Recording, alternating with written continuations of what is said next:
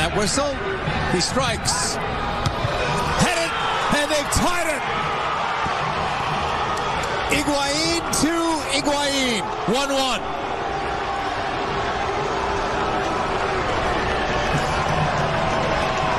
person you want it to fall to is Higuain.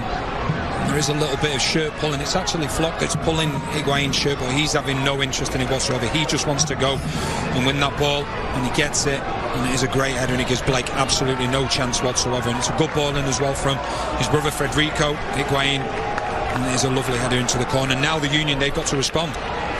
So that's his third goal with it. Miami putting it into space. Right side, ball cut back once, twice. Sent across. Goal!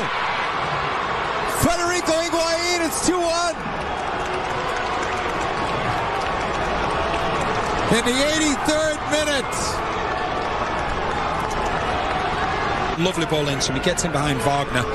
And then he just waits his opportunity. He waits for the run, and it's just that late run from Federico Higuain. And just like his brother, it's a wonderful header. And now the Union, they've got it all to do in these last few minutes. Like I say, it's a lovely ball in from Figal. Just waited his turn.